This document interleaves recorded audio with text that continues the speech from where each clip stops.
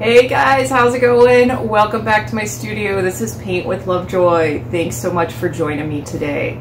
If this is your first time here, please hit the subscribe button and check out my other videos on the channel. If this is your third or fourth video that you've checked out, thanks so much for your support and I'm really glad you're getting creative at home. Uh, really proud of you for doing that as well. So in this video, this is going to be geared towards my beginner painters. Um, so those of you that just want to keep getting comfortable with painting, maybe explore some new subjects, explore more blending and some of the basics, um, these are good videos for you to utilize. With that being said, you have full permission to change out any colors or change anything about the video or about the painting process. Um, that's the great part about creativity. You get to kind of make it your own. So what you're going to see in the description box below is what I call a link to a supply kit. And in that supply kit are the basic supplies that you need to paint at home. So use what you have at home, but if you need to grab some new stuff or you like what I'm using in the video, you can use that link um, just kind of as a guide for what you'll get there. Another thing that you're going to see is something that I call a traceable, and there's a link in the description box below for that as well. And a traceable is a way for my first time and beginner painters to get the initial composition on the canvas before you even start painting. And there is also going to be a link for a video on how to transfer your traceable. So check out both of those um, and get your initial composition on the canvas and then jump into the process of painting. When you're ready to kind of take your skills to the next level, check out my online school, paintwithlovejoy.com. And I've got a few um, advanced beginner, some intermediate classes on there, and my signature Paint Your Pet classes on there, as well as my intro to palette knife scraping. Both you will learn a lot and you'll learn some core foundational art skills in both of those courses. So please keep evolving your skills, keep painting, keep getting creative, try to find a monthly outlet for yourself. I recommend that for everyone. All right, so I think that's enough talking right now. Let's go ahead and jump into the process of painting.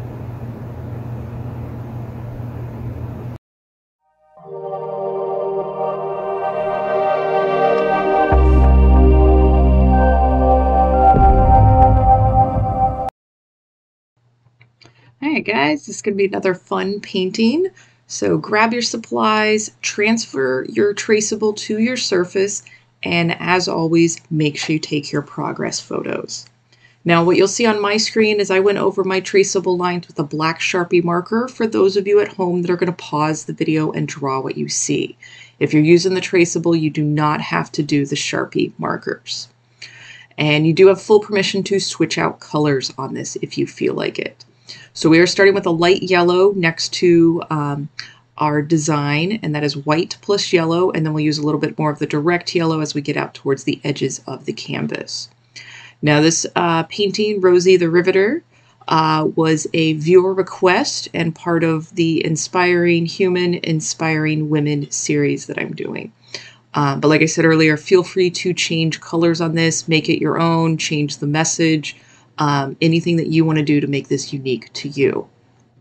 And I do like that this painting is basically our primary colors, um, red, yellow, and blue, um, with a little bit of the raw sienna when we get into the skin tone, but I like the simplicity of the colors in this one. So I am using student grade paint and applying the paint a little bit thicker, um, just so that way it has a bit more opaque coverage. And now moving into that direct yellow as I get to the edges of the canvas. And if you happen to be painting on a stretched canvas, I do recommend that you carry that color around the sides of the canvas um, while you have the color on your brush. And it looks nice when you hang it on the wall, having that color wrap around the edge. Now, if you are holding your breath, take a deep breath, relax. Um, I'm proud of you for painting, and the more that you paint, the more comfortable you get with the process. All right, so a good place to pause the video and take your progress photo. We're going to be moving into shades of light blue as we fill in um, her shirt and then more of the direct blue as we fill in the um, kind of conversation bubble above her head. So that light blue was white with a touch of blue. A little bit of blue will go a long way. And I tend to stick with the same brush, but if you need to move down to that pointy brush, go right ahead and do that. Also, if you want to let your background dry before you move into this uh, section, you can do that. Um, or you can just jump right into painting. So here you can see where I added just a touch more blue to it, um, going just a touch darker. And as you follow along the video, I want you to utilize your power of observation. That is actually something that you're strengthening each time that you paint. Observe the place where you see me put something, the shape, and then mimic that to the best of your ability on your canvas. So we are moving into more of a medium blue, so just adding a touch more blue to the light blue you were using. And we're going to be filling in that bottom section and then the rolled up little cuffs. Then we'll be moving in with a darker, uh, more of that direct blue. And again, feel free to switch back and forth between the medium flat brush and your small pointy brush. Now by applying that paint a little bit thicker, it makes it a little bit easier to blend. Um, but if you happen to have kind of thin paint or it's on the fast drying side, just kind of take this in little sections. Now, if you want, you can pull up the original uh, poster, the original icon for this, and anything that you see in that that maybe I don't add because I have simplified this for my beginner students, feel free to add what you see on the original because again, that um, is strengthening your power of observation. So here we have the pointy brush and I'm grabbing that direct blue paint and I'm basically placing it where I want it. Then I'm going to wipe the brush off and with light pressure, we're going to um, blend that into the base color. Now, as we do the blending, um, I do want you to kind of keep light pressure and you're just developing um, the skills and the muscle memory and even the observation of what it feels like to blend paint. And this is called wet on wet blending. So as you're watching this, just kind of notice the direction that I kind of pull the paint into and mimic that to the best of your ability on your canvas. If it happens to be different than what I end up doing, totally okay. Um, I'm of the belief that it's more important to just paint. Um, your final outcome, as awesome as you may want it to be, it's going to grow and you're learning a lot right now. So you could paint this same image um, in a year from now, in a couple months from now, and it will be different than what you paint today. Um, and that's just part of the painting process. All right, so still adding that blue. And as you're working with the pointy brush, kind of play with the pressure. Light pressure with the brush will create a bit of a skinnier line. More pressure will create a bit of a wider line. And if you have varied widths of lines um, on your painting, that's okay. That's where you're at for today. So we're going to clean that brush off. We're going to grab that white, put the highlights on there. We're not going to blend this as much um, as we did with the blue. And again, just kind of observe the general place that I put each of these um, sections of white. There we go. And again, remember to breathe. If your brush is shaky, that means you're holding your breath. So if you exhale as you touch the brush to the canvas, um, that makes it a little bit easier for you. All right. So now going back up to the middle flat brush, that direct blue paint, we're going to fill in that whole conversation bubble um, just with that solid blue. And I am using student grade paint, so you'll see in a few places where I apply it thicker, it's got a bit more opaque coverage compared to the places where it might be thinner and some of the white of the canvas is shining through. So with student grade paint, you've got a few options. You can apply it a little bit thicker or apply two coats. So let it dry and apply a second layer. Totally your call. Um, and like I said earlier, if you want to switch out the message at the end of the video, um, I'll stick with what was on the poster. Um, but please put your own positive personal message in there. Um, and you can even make it unique if you're giving it as a gift. You can put somebody's name up there. But basically, I'm just proud of you for getting creative, for painting at home, for stepping out of your comfort zone, and um, just kind of escaping the world for a little bit while you paint. You'll be so focused on the canvas um, that you do forget about the rest of the world for a little bit. And that's why quite a few of my students paint, and it's definitely why I paint. All right, so we're going to go back to that small pointy brush, the uh, straight red paint, and we're going to fill in the bandana on Rosie's head. And same thing with this. If you apply it a little thicker, you got a bit more opaque coverage, or you can do two uh, layers of it if you need to. Again, remember to breathe as you are touching the brush to the canvas, and that will alleviate some of the shakiness that you might have with your hand. You guys are doing a great job. Again, really proud of you for painting at home. Um, and I do appreciate the viewer request. This was a viewer request, so if you've got something that you would like me to do, um, leave a comment or send an email. I am a solo production, so I don't get to the viewer request as quickly as I'm sure you would like me to, um, but I do keep a production list going and um, just kind of work off of that as I make each video. All right, so we're moving into the skin tone, and I'm using white with a touch of raw sienna. You are more than welcome to um, change the skin tone, make it whatever you want. And we're going to kind of take it section by section. We'll do the arms and then those fingers and then the face. Um, but we're going to reiterate uh, kind of the same type of blending that we did in the, uh, the shirt. So we're putting our base color, then we're going to put a bit of a darker color, and then we're going to put a white highlight on there. And we're getting into the basis of what we call the value scale, having three shades, just like on the shirt, the light blue, the medium blue, and the dark blue.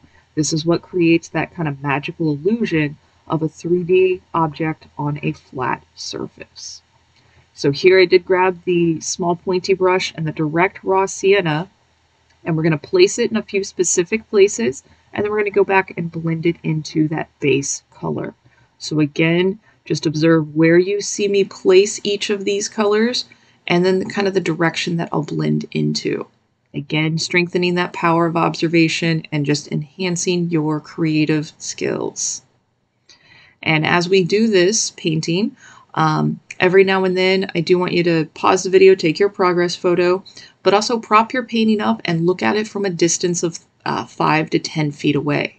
And when you look at it from that distance, this um, shading that we're doing makes even more sense. And kind of the nice joke is everything looks better from a distance. So don't be upset if you like it more from five feet away compared to two feet in front of you. When you look at it from the distance, that's more of the normal viewing uh, distance that the viewer is going to look at your artwork from. All right, so you see that I basically was adding the white, that highlight value. Again, just observe where I placed it and then kind of the direction that I'm going as I blend it into that base color. And we're going to build on this skill as we go to each other section um, for the skin tone. And like I said earlier, you could paint this painting again in a year from now, in a couple months from now, and you'll be more comfortable. It'll be a little bit of a different turnout. So painting is not about perfection, but just improving your skills. All right, so we got that base on there for the fingers and then going back with that raw sienna. Again, just observe where I'm placing it. And as we work in these small spaces, um, we are a lot more controlled with our brush strokes. So if you're one of my first time painters, um, you might find some frustration in this just because you haven't developed the muscle memory for handling the brush. So I do recommend that you try some of more of the first time painter videos and as you get more comfortable, then just kind of step up to um, some more of these controlled dexterity paintings. And this is just part of your creative journey, your creative path.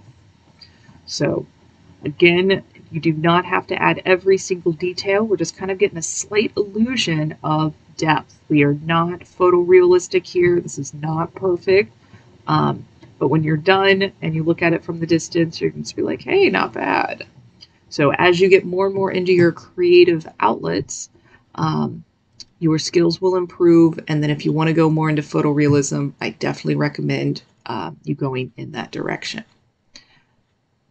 All right, so going back to that medium, that light raw sienna, getting the face on there, avoiding the lips, getting the neck on there, and then we'll go back with the pointy brush and the raw sienna to get some of the shading.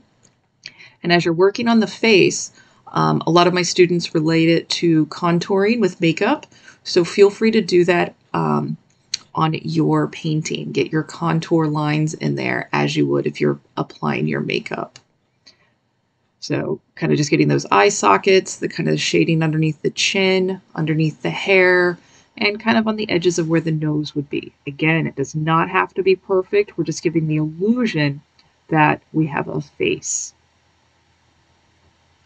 And now grabbing the white, kind of for the top, the bridge of the nose, those cheeks, and a little bit on the forehead, and a bit more on the left-hand side of the face.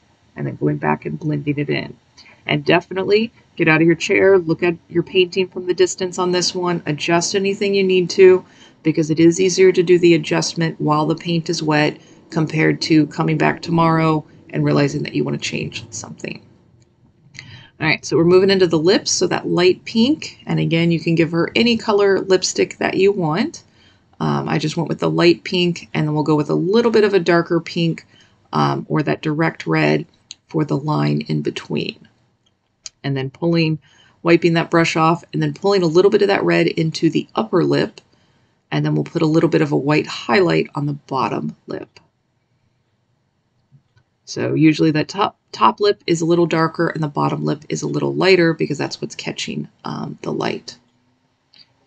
All right, oh, and I forgot about that, um, that second arm, that second elbow. So doing the same thing, going back to that base light raw sienna. We'll put the darker raw sienna on and then some white. You guys are doing a great job.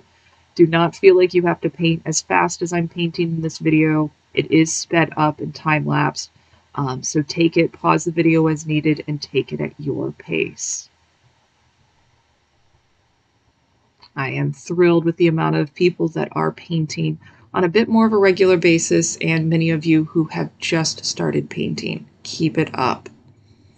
All right, so moving into the black, we're going to give her some eyebrows. Uh, we're going to fill in her hair, and then we will actually go through and outline everything. And the outline um, just kind of gives it a bit more of a pop art feel, a bit of a cartoon feel. If you do not want to do the outlines, you do not have to. Same with anything in art. If you don't feel like doing it, don't do it. This is your creative expression.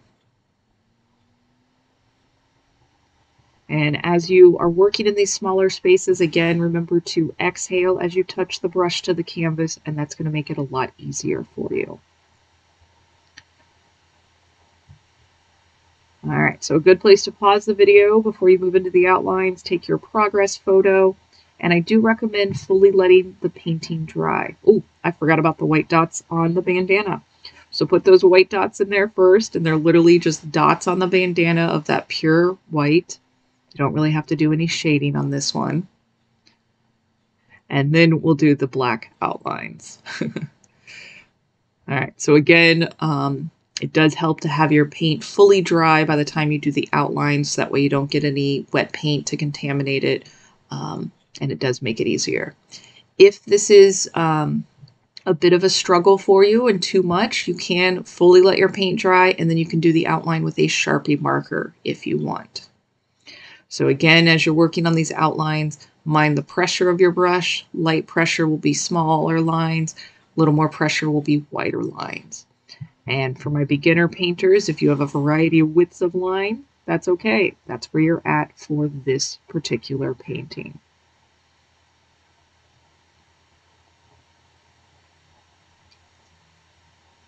guys are doing great.